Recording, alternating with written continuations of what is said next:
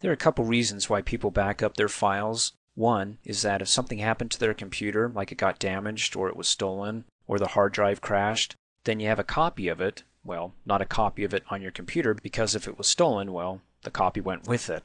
So you want to back it up either to a bunch of DVDs, depending on how many files you want to back up, how large those files are, or to an external hard drive that connects to the computer through a USB cable. As I have attached to my computer, for example, if I double click open up any folder, over in the navigation pane there's the computer, click on it, and it reveals the main hard drive and all the other external hard drives attached to the computer through a USB cable down below. I have one tetrabyte hard drive, another tetrabyte, and then I have a 149 gigabyte and then a 500 gigabyte. All four of these are external hard drives that I can back up my files on my computer here to one of these four. Of course, if I'm backing up really large files and a lot of them, it may not be enough to jam it all here on a 149 gigabyte hard drive. So we'll have to work at this accordingly. Now one other reason why people might want to be able to back up their files is that, let me close out of here. When I open up the exercises folder on the desktop, I've got a lot of files in here. If I accidentally delete one, but I have it backed up, I can restore that file. Or if I made changes to a file and I'm like, gosh, I can't remember the original and I want the original, not all these changes that I just made, then you can also, if you backed it up, restore that file as well. Now there's a couple ways you can back up your files. You can either do it by hand, meaning that, you know, over here when I click on the computer, it shows me a list of all the external hard drives. I can just go ahead and move this out of the way and then open up this folder, move that over here, and then click and drag onto my external hard drives and back it up, which you would have to do on a daily basis here, which you'd have to keep tight management on that, or even easier, let me close out of here. As far as opening up two windows, you can turn that down, and then there's the hard drives, just click and drag to the hard drives there. So that's one way. The other way is to use the Windows Backup feature on Windows 7 here, and that can be found by coming down here and clicking on the Start button, going to the Control panel, and then up here click on Backup Your Computer. If this is your first time in the Backup Center, and it's the first time you're backing up, you should have a link here that says Set up Backup. Go ahead and click on it. Of course, I already have mine set up, so if I want to make any changes to it, and of course once you set yours up and you want to make changes to it, come down here and click on Change Settings. Give it a few seconds while it detects all the devices that it can back up the files to from your computer, like a secondary internal hard drive, which I don't recommend. I mean, if somebody steals a computer, then they got your second internal hard drive, in any case.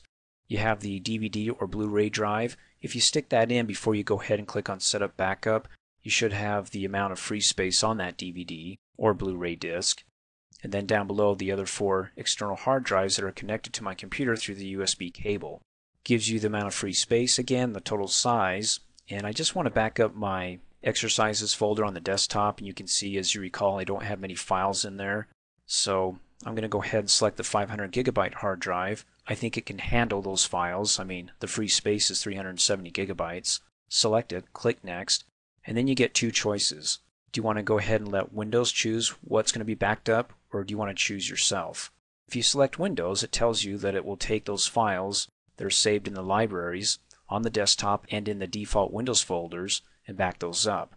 It'll also create a system image, which is good because it can be used to restore your computer if it stops working. So if I come up here and I select that and click Next, that's what it's going to be backing up, including all the users on this computer. And as you recall, I have three users. I have Training, Dreamforce, and Kershaw's and then there's the system image. So if it really has an issue, it can go ahead and restore the system files in case if those got corrupted. And then down here, go ahead and click on Change Schedule because what's really cool is that you can go ahead and automate this and have it run a backup on a schedule if you go ahead and check it. Weekly, daily, monthly, go ahead and choose weekly. Maybe on a nobody comes in for work on Saturdays and I can go ahead and set that up early in the morning and then click OK and it says every Saturday at 6 a.m.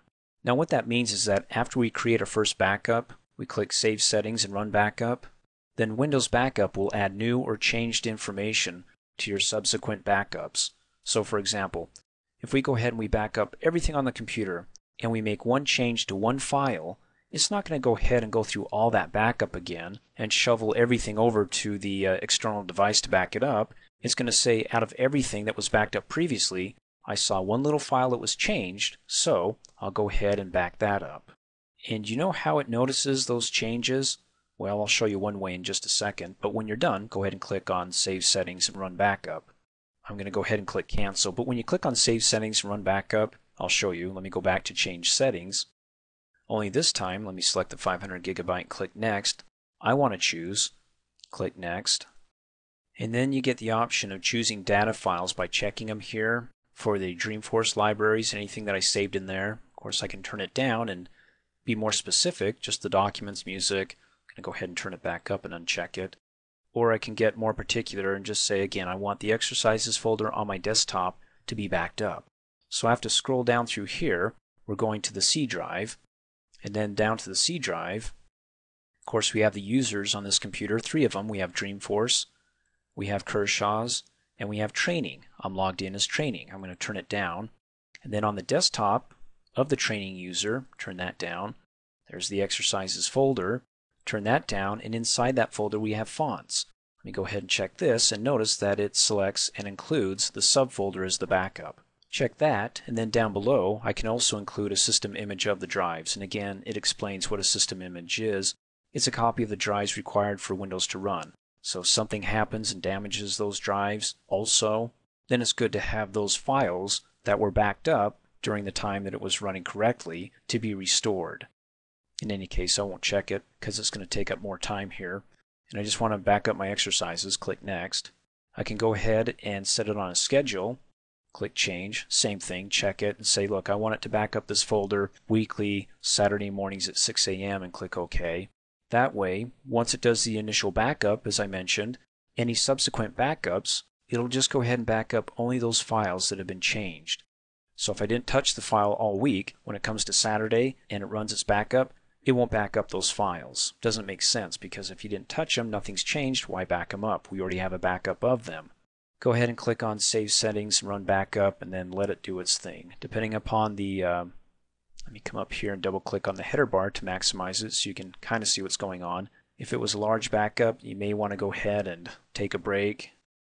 So when I'm done here, let me go ahead and close out. If I go to my backup drive, remember it was the 500 gigabyte, the external connected through the USB cable. Double click open up any folder. There it is, 500 gigabyte. Click on it. Over in here, that hold folder was there before. So what you're going to see is you're going to see the name of the computer, which is me, Dreamforce, not the username. The login username is training, but this is Dreamforce for the computer, and then another um, file that also helps in the restoration here if I need to restore my backup. So let me go ahead and close out, open up the exercises again, and let's say I made a mistake and I, well, let me open up promotions. And let's delete the S for whale, close out, save it, and let's go ahead and delete the smile. So we got a theme going. We deleted the S out of promotions and we got rid of the smile image. So if I made some mistakes in this folder and I want to go ahead and restore what I just backed up, then you want to watch the next training video. But as I promised, earlier on when I mentioned that how does Windows know when something's changed in a file? Well, if you go ahead and you right click on a file and go down to properties, notice that it has a timestamp when the file was created, when it was modified, and it was modified a minute ago. So when I did the backup, it had the timestamp so if I open up this file and modify it between now and when it runs the next backup, then it goes, okay, something's changed, okay? And then it knows that it needs to back up this file.